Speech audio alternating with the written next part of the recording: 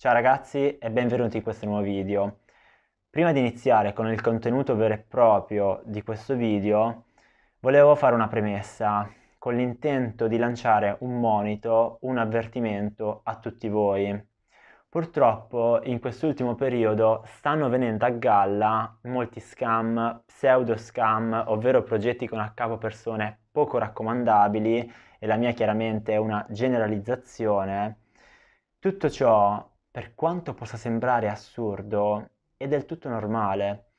Ricordatevi che è nelle fasi di bear market, di scarso interesse, che i protocolli, gli exchange, quel che sia, tendono a scammare e non nelle fasi di bull market nelle quali ci possono ancora guadagnare e lucrare. Perciò in questi primi mesi di bear market cercate di prestare la massima attenzione, di non assumervi rischi inutili e di aspettare che il mercato depuri, pulisca di tutto il marcio che si è accumulato in, in questi anni di bull market. In ogni caso ragazzi di questo ne parleremo in un prossimo video specifico e il mio intento per l'appunto era unicamente avvertirvi di prestare la massima attenzione perché queste cose succedono soprattutto in queste fasi. Fatta questa premessa, arriviamo finalmente a parlare del contenuto di questo video. Alla base di questi errori, come nell'investire in un progetto con dei fondamentali poco validi, c'è un processo decisionale, un processo decisionale che ci porta a compiere una scelta. Ebbene, il nostro processo decisionale è imperfetto, poiché inconsciamente ci porta a compiere delle azioni, a prendere delle scelte che non sono del tutto razionali, quindi ha dei difetti, delle distorsioni, o meglio delle distorsioni cognitive. Ebbene ragazzi, nel video di oggi andremo a capo di tutto questo e cercheremo insieme di estirpare il progetto alla radice e tutto ciò grazie unicamente alla conoscenza. Unica premessa ragazzi, ci tengo davvero tanto che voi vediate questo video fino alla fine e vi dirò anche il perché, non mi interessa che lo ascoltiate soltanto o che lo vediate. L'importante è che voi veniate a conoscenza dell'esistenza di questi errori, proprio perché la migliore arma a nostra disposizione per evitare di commettere questi errori in futuro è proprio la conoscenza dell'esistenza di questi ultimi e vedrete che in molti di questi vi ci ritroverete. I 12 errori più gravi che mi hanno e ci fanno perdere soldi. Parleremo appunto di errori cognitivi, bias, stereotipi che ahimè nelle cripto ce ne sono veramente tanti, euristiche e rumore. Chiaramente vedremo anche come evitare di commetterli. Il primo errore, che è quello più comune che si tende a fare all'inizio, l'ho definito l'errore da shitcoiner neofita e consiste nel preferire l'acquisto di un'unità intera a discapito della frazione di un token. Ad esempio, Bitcoin è troppo costoso. Quante volte abbiamo sentito questa frase? Preferisco acquistare Shiba Inu perché costa poco, quindi è più economico, e soprattutto perché ne acquisto tanti, quindi ha un maggiore impatto psicologico su di noi. Inoltre, se dovesse arrivare a un dollaro, mi compro l'America. Ora, i consigli sono semplicemente due non sopravvalutare il valore di un token perché è economico. Il fatto che valga pochi centesimi non significa che possa arrivare a valere decine di dollari. Ad esempio, Shiba Inu a un dollaro capitalizzerebbe oltre 550 miliardi. È possibile? Certo che è possibile. È realmente realizzabile? Beh, avrei assolutamente i miei dubbi. Quindi impara a comprendere il rapporto tra la market cap ed il circolante. Bias di ancoraggio. Per chi non sapesse cos'è un bias, ragazzi, anche se ne abbiamo parlato varie volte nel canale, sono delle distorsioni cognitive che le persone attuano nella valutazione di fatti e avvenimenti. Quindi rappresentano il modo in cui il nostro cervello distorce la realtà. Quindi il bias di ancoraggio consiste nell'ancorarsi eccessivamente alle prime informazioni che si ricevono. Ad esempio, hai sentito parlare di Bitcoin quando valeva 6.000 euro e non l'hai acquistato. dopo un paio di mesi arriva a 11.000 euro e non lo vuoi comunque più comprare perché pensi che rispetto alle prime informazioni alle quali ti sei ancorato, quindi 6.000 euro, costa troppo e fu così magari che arrivò a 60.000 euro. Quindi valuta un asset in base al suo potenziale e non al suo passato e chiaramente come per ogni cosa siate consapevoli dell'esistenza di questo bias. Ad esempio in questa immagine vediamo come l'omino predilige la tazza di destra pur essendo uguale identica a quella di sinistra perché si ancora in un certo senso al prezzo di 1000 dollari quindi da 1000 dollari scontata a 300 e pensa che sia per l'appunto un enorme affare. Addirittura il prezzo della tazza di destra sarebbe stato anche più alto rispetto a quella di sinistra, in ogni caso l'omino avrebbe prediletto, diciamo, quella di destra. Bias di conferma, questi sono bias molto conosciuti, consiste nel ricercare unicamente le informazioni che confermino la tua tesi. Questo è molto molto comune anche nel settore cripto, ma negli investimenti in generale. E ciò ti porta a seguire soltanto le figure, le analisi che siano d'accordo con il tuo pensiero e che siano magari rialziste sulla coin che detieni, trascurando chiunque non sia d'accordo con il tuo pensiero. Ad esempio, io sono prettamente bullish, andrò a ricercare informazioni, analisi che siano altrettanto bullish e trascurerò quelle bearish. Di conseguenza, viceversa, le persone che sono prettamente bearish andranno a fare la medesima cosa. Ora, i consigli, quando investi cerca di assumere un atteggiamento neutrale, questo lo ripeto sempre. Sii il più oggettivo e pragmatico possibile cerca chi ha una visione contrastante alla tua e valuta se è valida. Quindi considera sempre ambo i lati della medaglia. Ad esempio in questa immagine abbiamo la sfera delle cose in cui crediamo, che sono le cose che vanno messe in discussione, e poi l'evidenza dei fatti e noi ci troviamo proprio qui di mezzo negli elementi sopravvalutati. Fallacia del costo irrecuperabile. Ragazzi fate molta attenzione a questo perché vedrete che in moltissimi di voi si saranno già ritrovati in una situazione molto simile.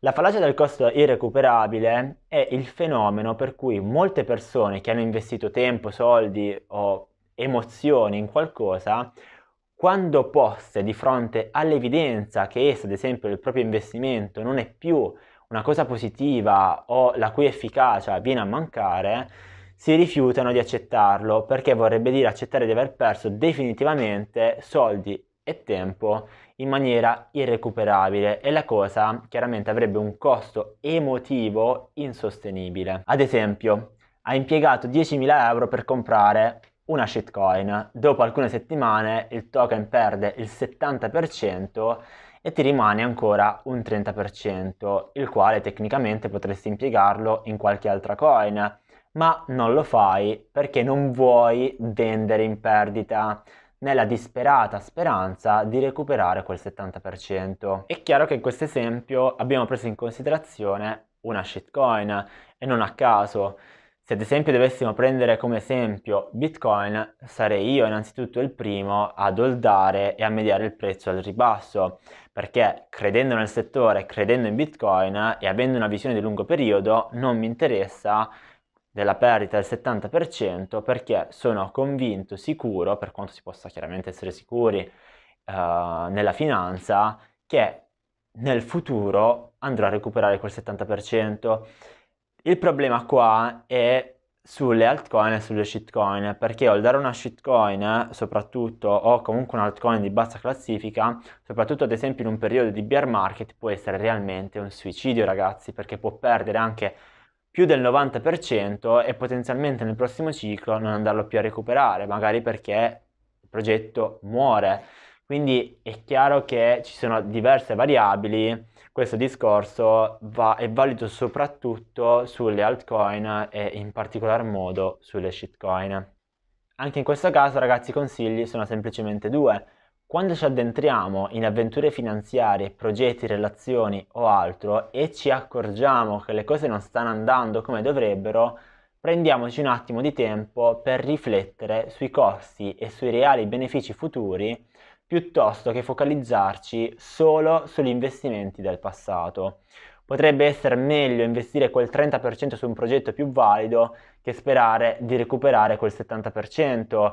Questo è un altro concetto importante perché non dovete necessariamente recuperare quel 70% su quella determinata coin, lo potreste tranquillamente recuperare su un'altra tipologia di coin, magari una coin che in quel momento è in trend o che comunque ha un valore maggiore rispetto a quella, ad esempio se parliamo soprattutto di una shitcoin. Ad esempio ragazzi questa immagine è molto rappresentativa in un certo senso di questo concetto, dove c'è la ragazza che dice andiamocene da qui perché eh, questo è il film più brutto che io abbia mai visto, mentre il ragazzo eh, gli dice che preferirebbe rimanere a guardare il film perché quei biglietti gli sono costati una, una gamba e un braccio. Quindi praticamente si rifiuta di abbandonare qualcosa di poco gratificante perché ci ha già investito, quindi questa è la fallacia del costo irrecuperabile. Avversione alla perdita, questo è famosissimo. L'avversione alla perdita è l'effetto psicologico ed economico che ci porta ad attribuire un peso maggiore alle perdite piuttosto che ai guadagni. Il fastidio di perdere 100 euro è generalmente molto più intenso della gioia di vincere lo stesso importo, seppur razionalmente la stessa cosa, vincere 100 euro e perderne 100, tecnicamente la stessa cosa, ma non per il suo impatto psicologico. Alcuni studi dimostrano di fatti che una perdita pesa 2,5 volte più di un guadagno dello stesso importo. Ad esempio, ad esempio, il tuo trade è in perdita del 50% e sono in arrivo magari altre notizie negative. Potresti chiudere il trade e ridurre la perdita, ma l'avversione alla perdita ti spinge a non vendere le tue posizioni e di aspettare per paura di perdere soldi, anche se vendere sarebbe la cosa più giusta secondo le tue stesse analisi. Ora, diciamo, il consiglio è che bisogna avere la consapevolezza dell'esistenza di, di questo bias e quindi pesare correttamente i rischi e i guadagni. Ho aggiunto anche un bonus perché eh, spesso l'avversione alla perdita ha un effetto secondario molto comune che porta quasi a non volersi più assumere dei rischi.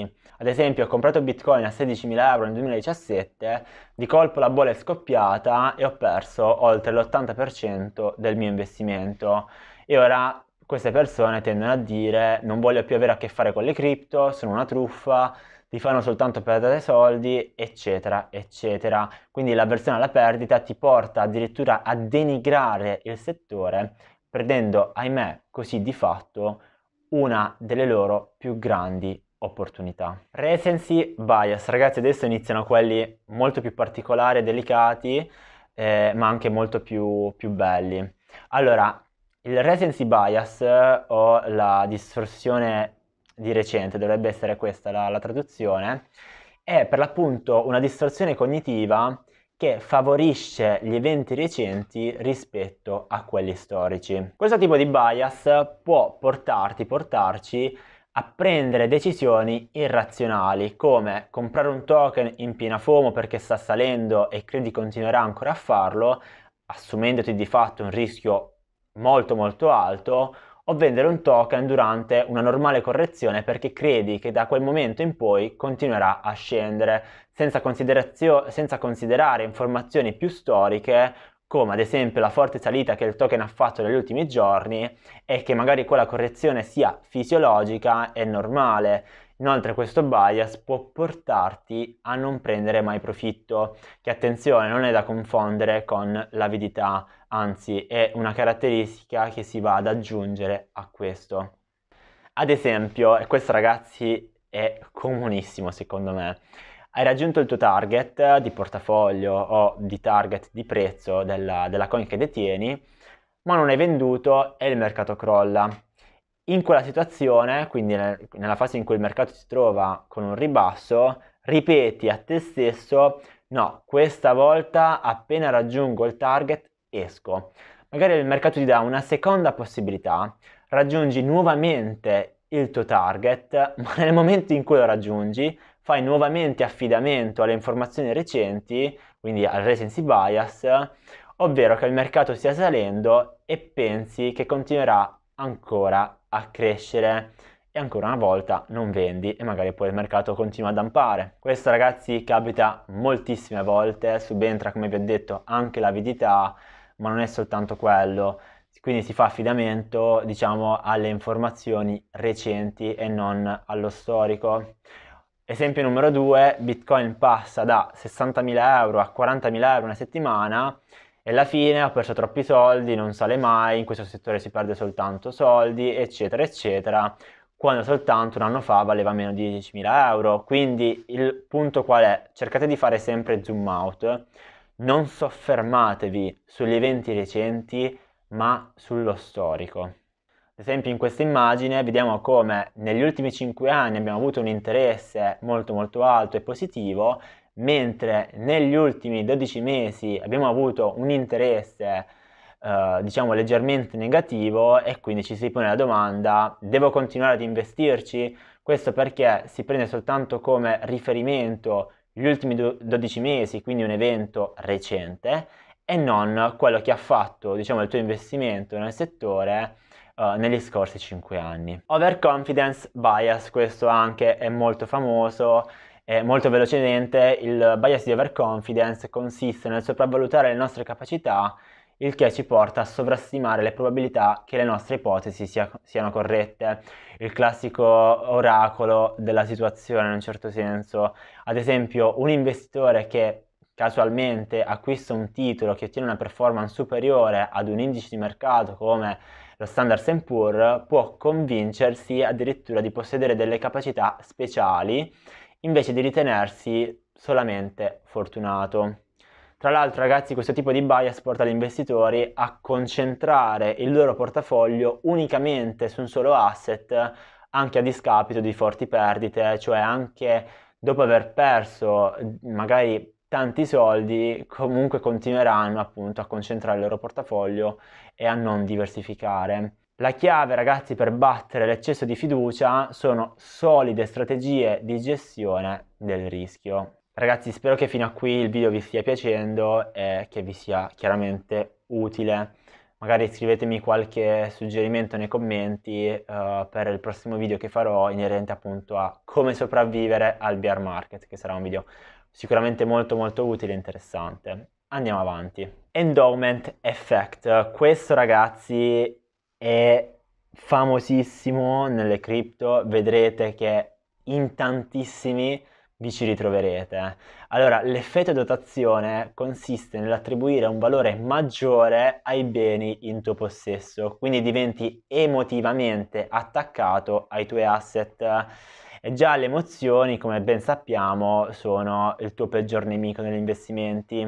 E questo ragazzi ci porta a non prendere mai profitto, a non valutare altri investimenti o addirittura a discriminare quelli simili. Quindi è un bias molto pericoloso e per l'appunto anche molto comune. Quindi ci si tende ad affezionare molto spesso ai propri investimenti.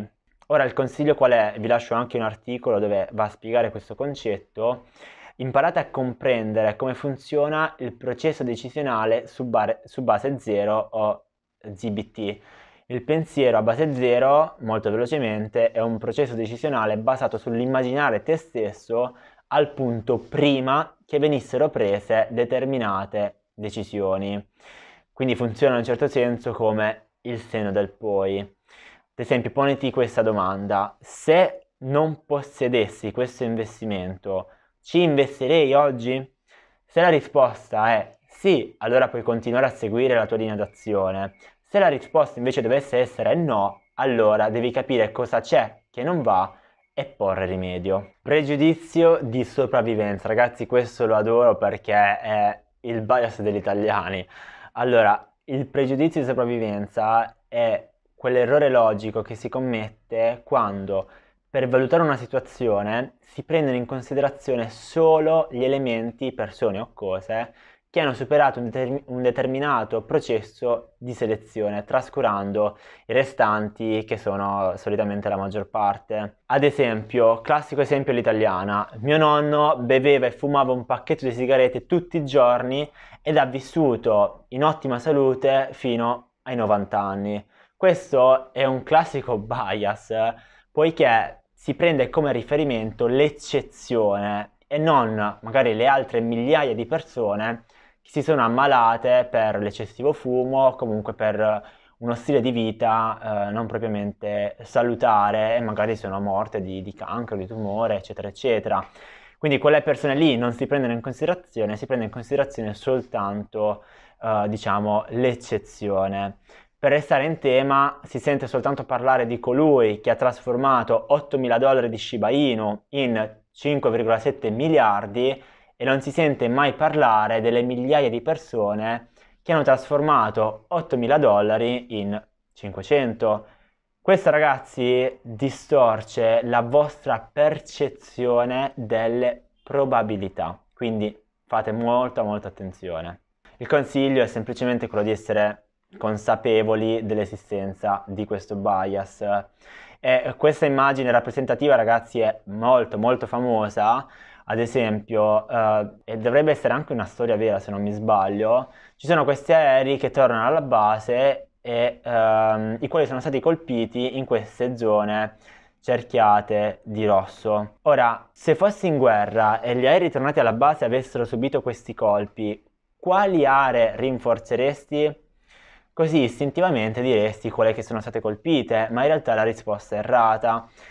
Le aree che dovrebbero essere rinforzate sono quelle aree invece che non sono state colpite, perché se gli aerei che sono stati colpiti in queste aree sono tornati alla base perché possono supportare appunto dei colpi in quelle aree, mentre quegli aerei che non sono tornati alla base probabilmente perché sono stati colpiti nelle altre aree come il motore, uh, la parte davanti o quella intermedia tra la coda. Quindi le aree di rinforzare sono proprio quelle lì. Effetto gregge, ragazzi, questo è molto molto famoso. L'effetto gregge è un errato comportamento dell'investitore che tende a seguire un pensiero di gruppo sostenendosi con altre persone a effettuare decisioni sbagliate. Questo diciamo lo ritroviamo come tutti gli altri d'altronde nella vita in generale, soprattutto nelle fake news.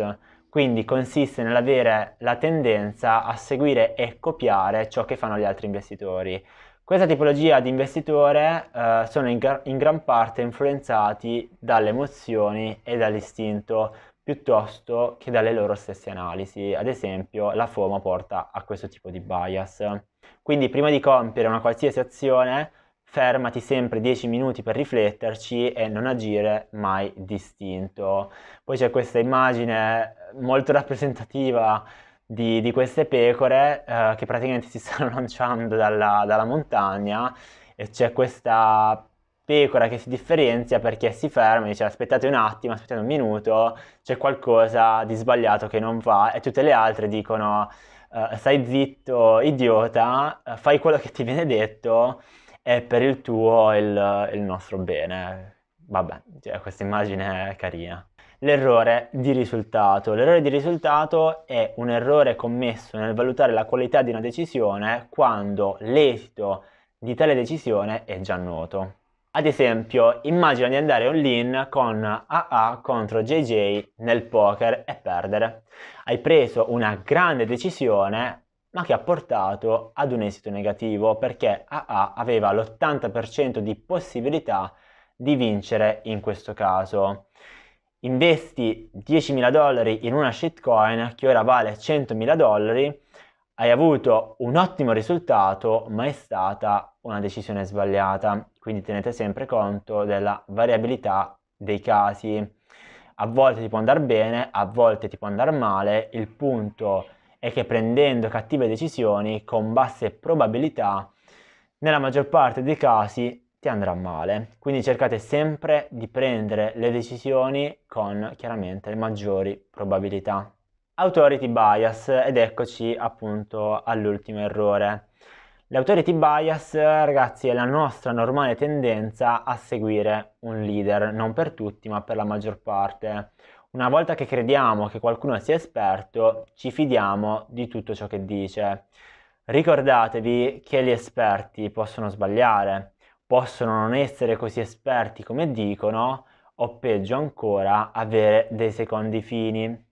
Perciò ponderate molto attentamente le persone che seguite, verificate sempre le informazioni, non pendete mai dalle loro labbra e non fidatevi mai di nessuno. Purtroppo, ragazzi, la gente per soldi perde anche la dignità e insomma, di esempi direi che ne possiamo fare anche fin troppi. E ora cerchiamo di trarre delle conclusioni. Come vi dissi all'inizio, alla base di come evitare di commettere questa tipologia di errori, quindi errori di natura emotiva che sono indotti da delle distorsioni cognitive della nostra mente, sta proprio nel conoscerli. È chiaro che difficilmente possiamo riconoscerli tutti poiché sono centinaia e molti dei quali uh, sono ancora sconosciuti o ancora peggio conoscerli tutti a memoria, è qualcosa di veramente molto complesso.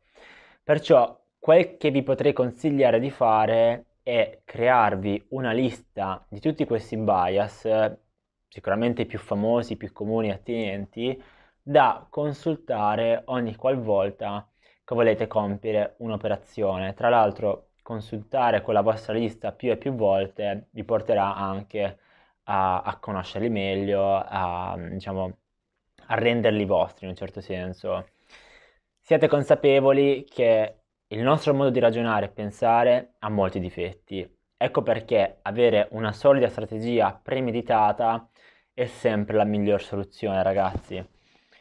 Io mi fermo qui, ci sono diversi libri che potreste leggere in merito a questo, a questo argomento, ve li lascio giù in descrizione. Spero che questo video vi sia piaciuto e che vi sia stato utile. Se è così ragazzi lasciate un mi piace, un commento e noi ci vediamo al prossimo video. Ciao ragazzi!